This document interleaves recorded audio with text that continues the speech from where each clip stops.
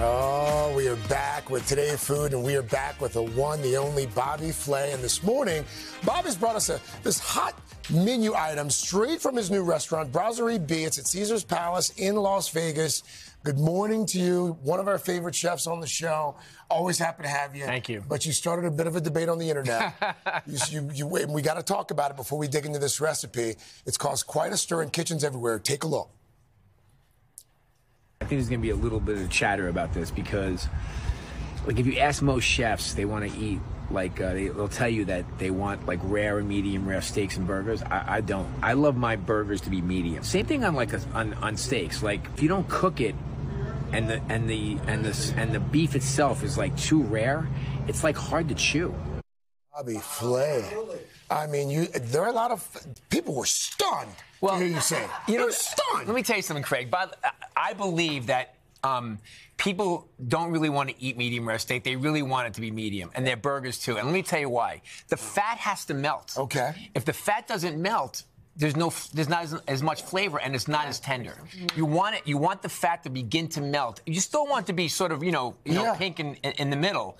Uh, I don't want you to overcook it. Okay. But I just want I want to get it to the point where I think medium is actually a better temperature than medium rare. And I will tell you that a lot oh. of my oh. chef a lot of my chef friends they might not admit it yeah. on the internet or on the Today Show. Yeah. they they feel the same way. Trust Bobby me. Flay speaks truth. I think oh, you're right. Okay. How do you feel about it? I feel like I have to say uh-huh. medium rare because people, people give me the stink eye yep. if you don't. Mm-hmm. But exactly. yeah, I actually don't like a bloody steak. That's true. Okay. When I order a, when I order a steak or a burger yeah. in a restaurant, and I always say and I say medium, they're like, "Are you sure?" I'm like, "Yeah, medium." I yeah. want it medium. I, I, I, find it to be more satisfying. Okay. All right. Well, let's medium let's, nation, let's cook up. this medium let's ribeye. All right. So we have a, a beautiful ribeye here. So we're gonna make a spice rub here with some paprika, some cumin, some coriander, and uh, a little chili powder. Okay. And of course mm. a little salt and pepper. You want to mix this up? Yes, sir. I got you. I got you. And this is this is like a classic spice rub. I mean, if you want to add some other ingredients that you have on your shelf, that's totally fine. Okay. And then what I do is I just take the I take the spice rub and I put it on one side of my steak. Why just one side? Because I still want to taste the beef okay. right? But I want to I want to create I want to create flavor, and also it's going to help to form a crust.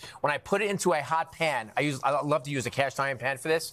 Mm. The the um, the spice rub will obviously give it tons of flavor, but it's going to become part of the steak and give it that nice crust on the outside. You also use avocado oil. I do. I use avocado. Why?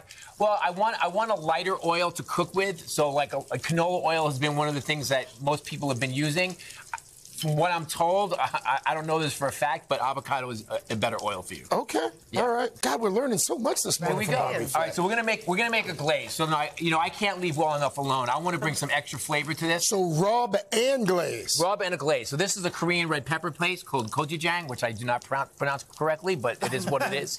And so it's it's a it's a fermented red pepper paste, and it's a very very. What'd you just throw in there? Okay, this is some rice wine vinegar, okay. some honey, okay, and then we have a little bit of orange juice. A little, little acid there. A little bit of soy. Okay. And then some yuzu, which is a, uh, a an Asian uh, citrus. Okay. And so we're just going to mix this up. It's a lot of Flavor. It's a lot of flavor, but this has ton. Gochujang is is like one of the hottest ingredients in, in America right now across the country. Why is that? Because it has tons of flavor and it's delicious. Okay. It's a fermented Korean red pepper, so it's like it's spicy. It's got that that, that sort of umami flavor to it. It's so good. It's so good, and how, it makes everything taste good. How long do you typically cook your your, your steak on one well, side? Well, if you notice, I haven't touched it. You have not. Okay, and this is what I, you know, I always say that there's two kinds of guys in the world: guys that can grill and guys that think they can grill. That makes every guy. Oh. and guys that think they can grill are out there with their tongues and they're flipping and right. flipping turn. That's a mistake. That's funny. Exactly. You want to leave it alone. We can we can get a cocktail. We can make a glaze. We can do other things. Yeah. We want the surface area to do its job. We want the pan to do its job. Let, okay. it, let it keep cooking. Leave it alone. All right. Now you tasted this butter as right before that compound butter on, is right? amazing. So we have some some chipotle, which is smoked jalapeno, some butter. We have some fresh garlic. It's a lot a of garlic. Bit, well, I'm not, I'm not going to use it all. Okay. A little bit of lime juice. And then uh, you can use parsley or cilantro. It's up to you. And of course, always season with salt and pepper, no matter what you're cooking. Okay. Very, very important. We'll just, and when you make this compound butter, you, you, it sits overnight. Uh, it doesn't have to. You just want to make sure that you know you, you kind of get it all together, okay. and you know, and you can you can hold it. Okay, here's our steak. Okay, so you can see it has a really beautiful crust on the outside. We're going to take that glaze that we made, and we're just going to slather the glaze on here. Don't forget, this is a thick steak.